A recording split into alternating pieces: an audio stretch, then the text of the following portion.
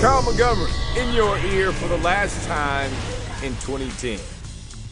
But I'm sure much more good plays to come in 2011. But here's your final 10 best of 2K10. Number 10, Celtics and Hornets. Emeka Okafor with the offensive defense. Swat you very much, Ray Allen. In at number nine, Thabo Sefolosha picking the pocket of Josh Smith. Sefolosha gets it to Kevin Durant, who lays it in, worth a second look. Give me those, please.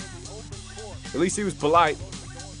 KD leading the league in scoring this year. The layup to the point total. Number eight, Raptors Rockets. DeMar DeRozan rising up. DeRozan, 37 in the game, but his team would lose. Number seven, Pacers and Wizards. JaVale McGee says, I'll take that. You take this!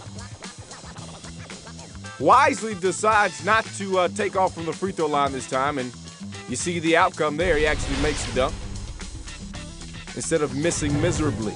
Number six, back to the Hornets and Celtics. Marquis Daniels uh, steals one from Chris Paul. He's not happy about it. So if you take his cookies, he's to take yours right back. I'll have that, please. CP3 and company get the win on the road. Halfway through at number five, Charlie V can't see, but he throws it over his shoulder anyway. And Tracy McGrady finishes the deal. Suns, your winner though. Number four, the rookie, Paul George, with that. Is there a draft in here? Anybody feel that?